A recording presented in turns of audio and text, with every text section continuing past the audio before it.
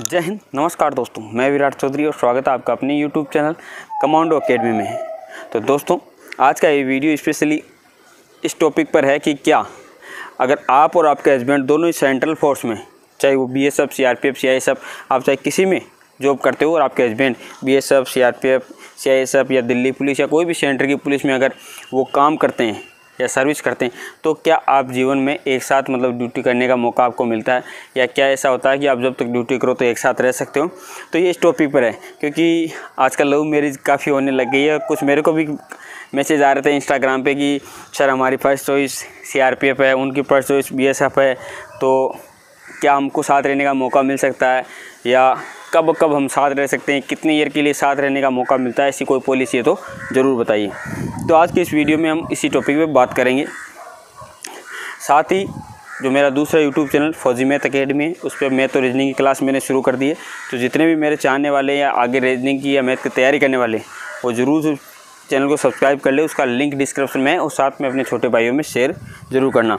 तो अब बात करते हैं कि अगर मान लो आप C R P F B S F I T B P या कोई सी भी फोर्स में हो, और आपकी वाइफ या आपका हस्बैंड वो भी कोई सी भी पैरामिलिट्री फोर्स में चाहे वो सी आई एस एफ़ हो बी एस एफ़ हो आई टी बी पी हो या एस एस बी हो तो क्या आपको साथ ड्यूटी करने का मौका मिल सकता है या साथ एक ही कैंप में रहने का मौका मिल सकता है?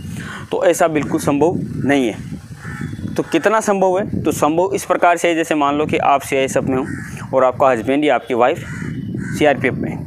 आपकी ड्यूटी दिल्ली में है और दिल्ली में सीआरपीएफ का भी कैंप है या सीआरपीएफ का भी कोई ग्रुप सेंटर या सीआरपीएफ के भी कोई बटालियन है। तो आप वहाँ पर अपना तबादला करवा सकते हो, एक एप्लीकेशन लिख के। तो ज़रूरी नहीं कि आपको हंड्रेड परसेंट तबादला मिले, लेकिन हाँ मिल जाता है कि आप रिक्वेस्ट करते हो आईजी इंस्पेक्टर जनरल से या जो डीजी महोदय हैं डायरेक्टर जनरल से, उनके नाम पे एप्लीकेशन लिखिए कि मेरे हस्बैंड इस फोर्स में जॉब करते हैं और मैं भी अभी उनकी ड्यूटी यहाँ पे है, मैं भी मेरी इस बटालियन में पोस्टिंग के लिए चाहती हूँ या चाहता हूँ, ये एप्लीकेशन लिख के उनको देते हो डिपार्टमेंटली आपकी मतलब रिक्वेस्ट के तौर पे आप अपना ट्रांसफ़र वहाँ ले सकते हो और बाहर जैसे फैमिली क्वार्टर लेके जैसे फैमिली रहते हो तो उसमें आप एक साथ रह सकते हो।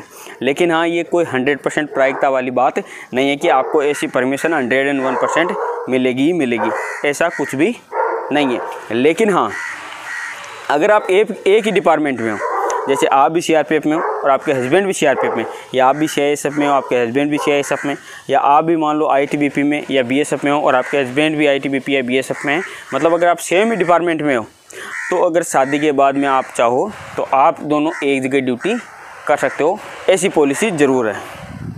कि मान लो आप भी सीआरपीएफ में हो और आपके हस्बैंड भी सीआरपीएफ में तो आपकी एक जगह पोस्टिंग हो जाएगी, जिस बटालियन में उनकी ड्यूटी रहेगी, उसी में आपकी रहेगी, या जिस ग्रुप ग्रुप सेंटर में आपकी ड्यूटी रहेगी, वहीं पे उनकी रहेगी तो मतलब आप एक ही जगह ड्यूटी कर सकते हो। जैसे अगर मान लो आप महिला बटालियन में रहते हो तो महिला बटालियन में पुरुषों की भी डिमांड आती रहती है तो आपके हस्बैंड की भी वहाँ ड्यूटी हो जाती है और साथ में रहने का, जीवन भर रहने का ऐसा पॉलिसी है। तो अगर आप एक ही डिपार्टमेंट में, सेम डिपार्टमेंट में अगर आपकी शादी होती है तो आप एक साथ ज़रूर रह सकते हो, जीवन पर्यंत। हाँ कुछ समय के लिए दूर होना पड़ सकता है, वो एक अलग बात है। कभी कभी तो दूरियाँ भी आनी चाहिए। प्यार मोहब्बत में थोड़ी सी दूरियाँ ज़रूरी है तो थोड़ी सी दूरियाँ भी आ सकती है, लेकिन हाँ साथ में ज़रूर रह सकते हो। तो अगर कोई डिपार्टमेंटली किसी का चल रहा है लव मैटर तो कोई बात नहीं, जारी रखिए और आने वाले टाइम में आप शादी करके एक साथ रह सकते हो। जय हिंद, जय भारत।